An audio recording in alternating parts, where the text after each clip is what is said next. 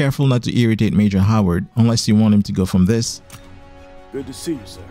I need you back in the fight. to this Why aren't you out there holding the line? Too busy holding up this one? or this. Testing my patience is a challenge you won't survive.